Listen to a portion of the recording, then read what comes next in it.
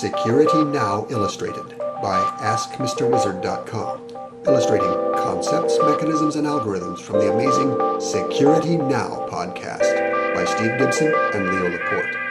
This is episode 8 DDoS Attacks How Internet Villains Attack an Internet Connection to Deny Access from September 2005. This is segment A on SYN flood attacks.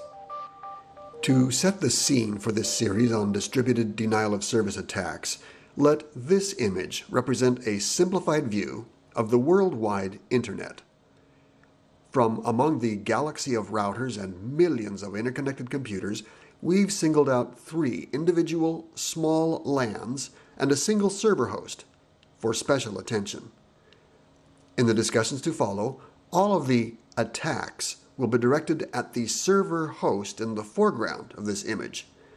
The attacks will originate from various locations across the internet, but we will pay special attention to the three examples shown outside the main perimeter. Please keep in mind that these represent only a tiny fraction of the devices that could be participating in many of the attacks we will be describing. In, in the old days, websites used to have their web servers brought down by people doing something called a SYN flood, S Y N. A SYN packet is the first packet of a TCP connection. When a when a user's browser, for example, wants to connect to a web server, it'll send a SYN packet. The web server allocates some resources to get ready for this connection, sends back what's called a SYN-ACK packet, which and then a, and then a final ACK packet is returned to the server.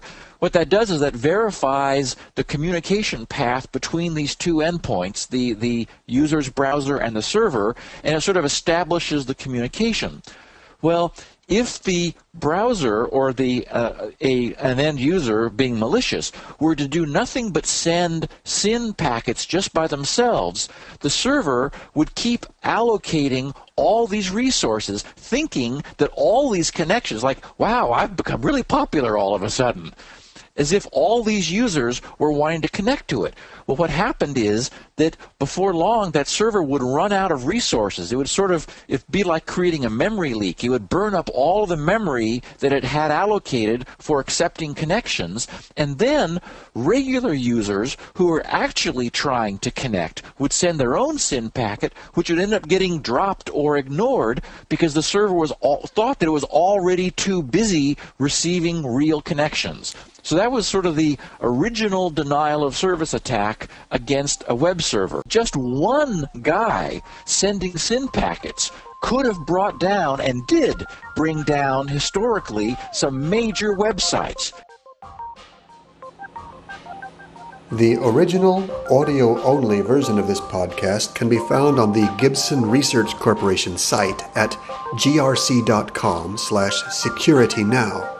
This clip illustrates some of the highlights from that show. This video clip comes from a large collection of related clips. All are indexed and easy to find at www.askmrwizard.com, along with related items, text articles, illustrations, and forums. Please visit us today. We appreciate your support. Thank you.